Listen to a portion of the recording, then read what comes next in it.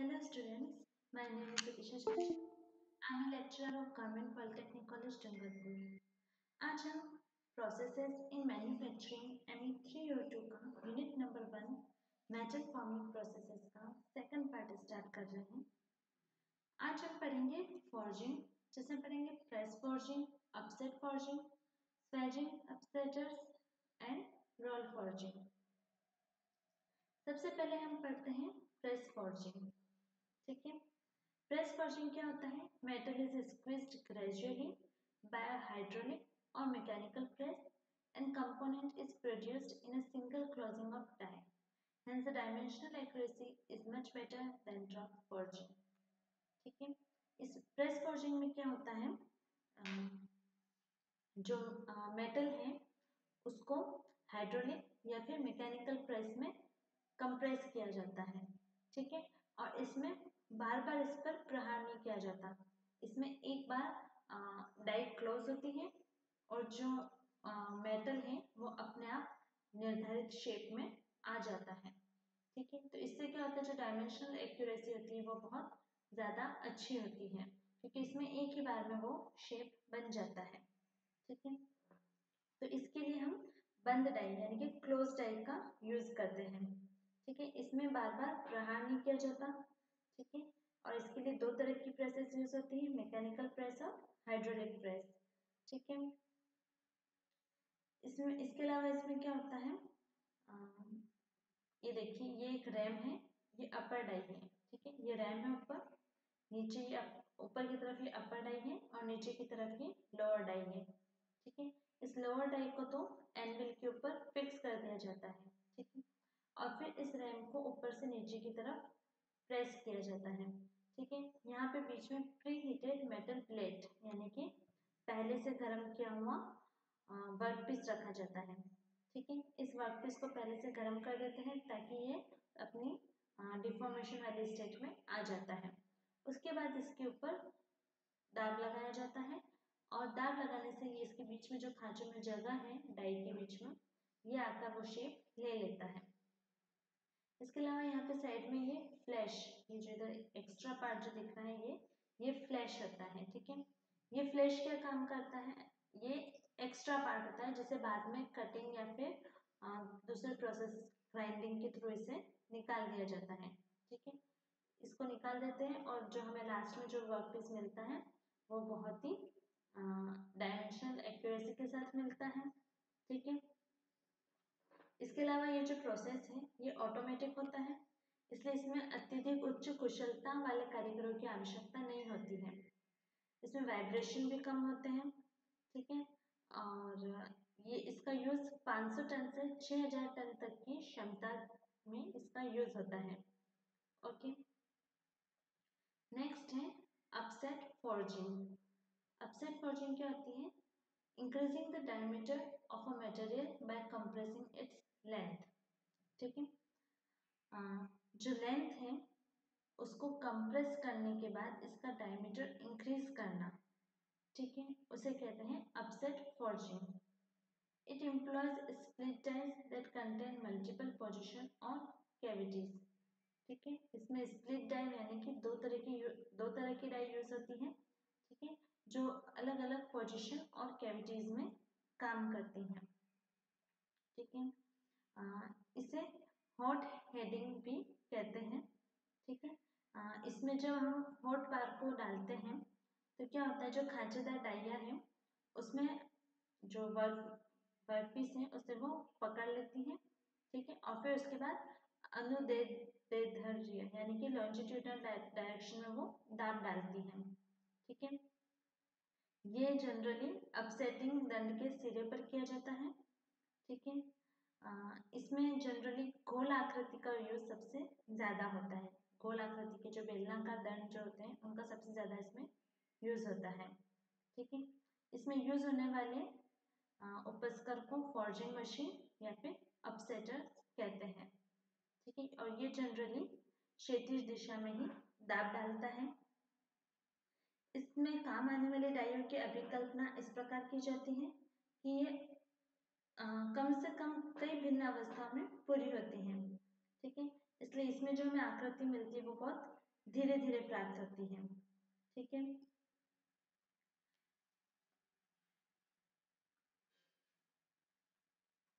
इसे दो भागों में विभक्त करके बनाया जाता है।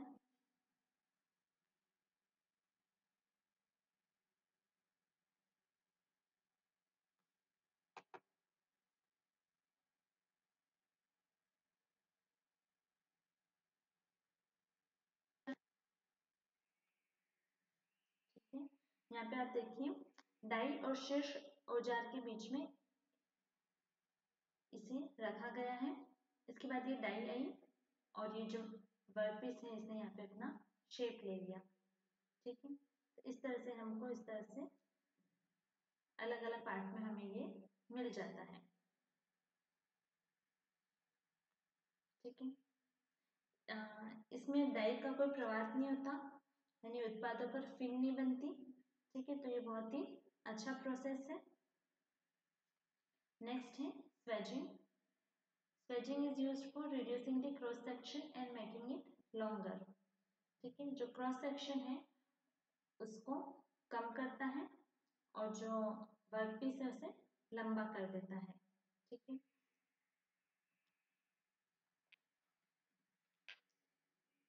नेक्स्ट है अपसेटिंग अपसेटिंग प्रोसेस में क्या होता है? ये फ्रोजन का वो प्रक्रम है। ये फ्रोजन का वो प्रक्रम है, जिसके द्वारा किसी वस्तु का अनुप्रस्थ काट बढ़ाया जाता है और लंबाई कम की जाती है। इसमें सबसे पहले क्या करते हैं? जो धातु है, जैसे ये बार है, ठीक है? इसको पहले अच्छे से गर्म कर देंगे। ठीक है? गर्म करने के बाद जैसे इसको गर्म किया तो क्या होता है? पूरी तरह से गर्म हो जाता है। लेकिन हम चाहते हैं कि सिर्फ़ इस पार्ट पर हमें इसका अनुप्रस्थ काट कम करना है। तो क्या करेंगे? इस बचे हुए पार्ट को ठंडे पानी में डाल देंगे ठीक है? तो इससे उसका आ, जो आ, उत, उतना ही भाग गर्म रहता है जितना हमें डिफॉर्मेशन के लिए चाहिए ठीक है? तो जो छड़ के जिस स्थान का अनुप्रस्थ काट नहीं बढ़ाना होता है उसे ठंडे पानी में रख देते हैं।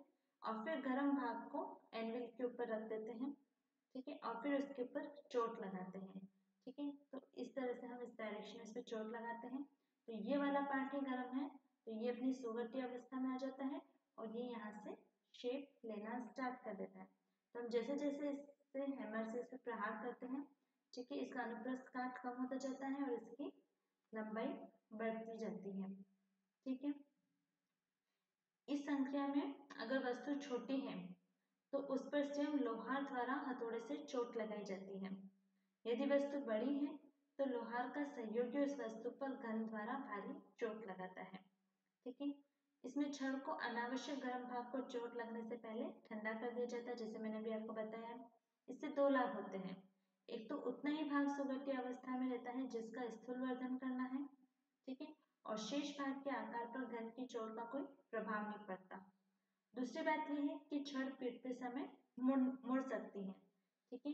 इसलिए अगर ज़्यादा लंबी अगर छड़ हो तो उस पर चोट लगाने पर ये ठंडी है इसलिए यहाँ से ये मुड़ती नहीं है ठीक है? इस संक्रिया करने में समय अधिक लगता है ठीक है? तो ये काम आ, बहुत लघु स्तर पर किया जाता है ठीक है?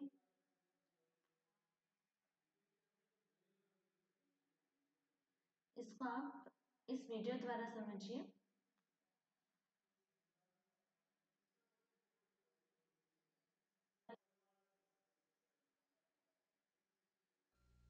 Open die forging is performed on ingot, billet, bar, or a preform, and is the deformation of a workpiece between flat or shaped dies without completely restricting metal flow. This deformation can result in lengthening of the workpiece while reducing its cross-section. Upsetting regions along the length to greater sizes than adjacent regions. Or bulging the workpiece's cross-section while reducing its length.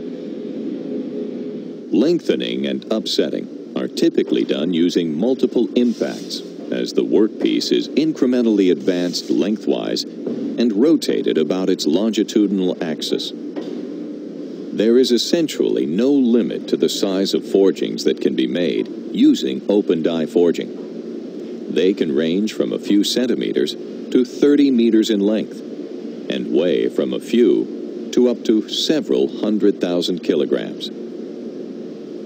Although fairly complex shapes can be made using open die forging, most are rather simple solids or hollows requiring considerable machining to achieve final shape.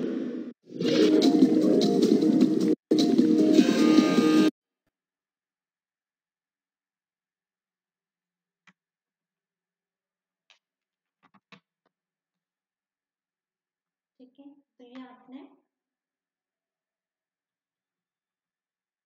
Upsetting के बारे में पढ़ा next है roll forging when the rolls are in the open position the heated stock is advanced up to a stop as the rolls rotate they grip and roll down the stock the stock is transferred to a second set of grooves the roll turn again and so on until the piece is finished क्या होता है इसमें ये जो diagram है ये है role forging का डायग्राम ठीक है इसमें क्या होता है? जो धुरी और पत्तीदार कमानियाँ हैं, उन्हें बनाने में इसका यूज़ किया जाता है। ठीक है? फॉर्जिंग रोल्स का मुख्य कार्य क्या होता है? दंड की किसी भी निश्चित लंबाई में उसका अनुप्रस्थ काट कम करना और उस पर टेपर प्रदान करना। ठीक है? तो इसमें जो हम यंत्र यूज़ लेते हैं, उसे रोल फॉर्जिंग मशीन कहते हैं। ठीक है? इसमें क्या होता है? ऊपर और नीचे दो क्षैतिज बेलन लगे होते हैं। ठीक है? ये बेलन पूरे वृत्ताकार नहीं होते जैसे कोई यहाँ तक ही वृत्ताकार है, ठीक है, इसमें भी यहाँ से सॉरी यहाँ से, यहाँ तक ही वृत्ताकार है, ठीक है, उसके बाद यहाँ से यहाँ तक वृत्ताकार है, ठीक है, पूरे वृत्ताकार नहीं होते ठीक है, इसका आधा भाग वृत्ताकार होता है और उस, बचा हुआ जो आधा भाग है, उसे काट कर अलग रख दिया जाता है। क्यों रखते हैं? क्योंकि जब फ़र्स्ट स्टॉक आता है, ठीक है, जैसे मान लो फ़र्स्ट स्टॉक आया ठीक है? और ये इस वृत्ताकार पार्ट से गुजरा। ठीक है? तो उससे क्या होगा? यहाँ से आएँगे। ये वृत्ताकार पार्ट से गुजरा तो यहाँ से इसकी क्या हो गई? रोलिंग हो गई। ठीक है? एक बार रोलिंग करने के बाद क्या होता है? जो ये खांचे हैं, ये वाला पार्ट जब आ जाता है तो हम इसको यहाँ से, इसको टर्न कर सकते हैं। ठीक है? तो क्या होता है? इसके बीच में जो स्टॉक है, वो आराम से प्रवेश कर जाता है। ठीक है? अपेक्षित अपेक्षित आकृति के अनुसार बेलनों के वृत्ताकार भाग पर खांचे बनाए जाते हैं, ठीक है? अनुप्रस्थ काट धीरे धीरे कई अवस्थाओं में घटाया जाता है। जब बेलन खुलते हैं तो दंड को खांचों में डालकर बेलन किया जाता है, ठीक है? अगली बार फिर बेलन खुलने पर दंड को दूसरे खांचों में डालकर वापस बेलन किया जाता है। और ये प्रक्रिया तब तक चलती रहती है जब तक कि अनुप्रस्थ काट में अपेक्षित लघुता नहीं आ जाती, ठीक है? अगर हम चाहते हैं कि पंख ना बने, ठीक है तो पंख न बनने देने के लिए प्रत्येक बेलन के आगे अगले खांचे में डालने से पहले दंड को 90 डिग्री के कोण पर घुमा दिया जाता है, ठीक है? तो आ गया समझ में? ठीक है तो ये है रोल फॉर्जिंग ठीक है? अगर आपको इससे रिलेटेड कोई भी डाउट हो तो आप मुझे कमेंट सेक्शन में पूछ सकते हैं। Thank you